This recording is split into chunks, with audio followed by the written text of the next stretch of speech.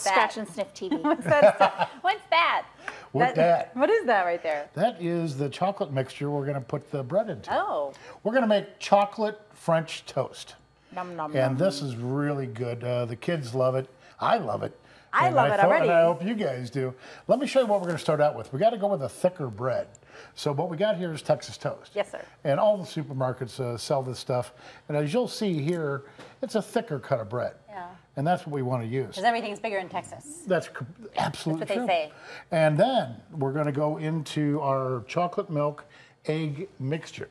And what this is is six eggs, two cups of milk, and a teaspoon of vanilla extract. Yum. Okay, I whisk those together.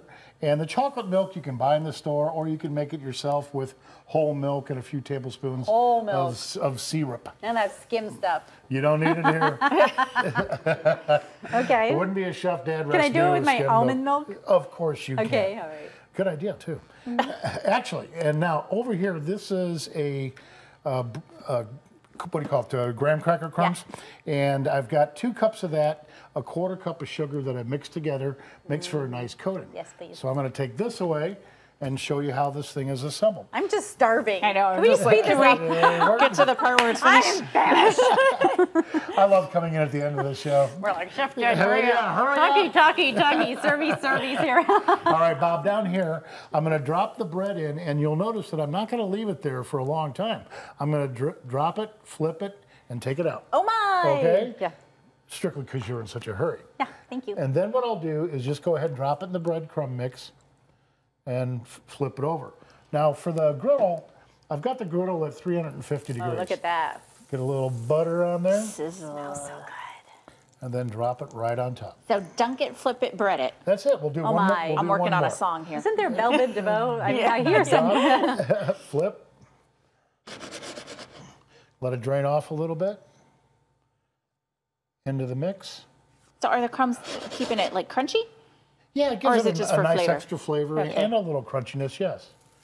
We'll go ahead and Oh, I love do that. some That's, more egg That's butter. the sound of breakfast. that's a Chef Dad ism right there. That's there good you stuff. go. now, uh, those are going to cook Yeah. for about two minutes each side. Two minutes each And while that's going, I'm going to go behind Lena Uh-oh. and get the ones I made about five minutes Oh, ago. yes. I knew you had a plan. You know what I mean, Vern? The, the magic of TV. There you go. You know what I mean? And then we're going to go ahead and take one. We'll put it over here. Now, here's your Over toppings. here. Oh, Thank you, kid. Appreciate your help. Not yet. Hang on. Okay. you got to move faster on here. Got a little bit of syrup. yes, mm-hmm. please.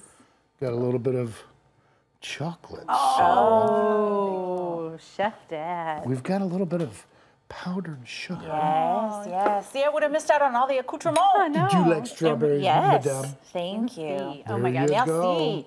Let me let Bob get a quick shot of that. Bob, you're slowing me down.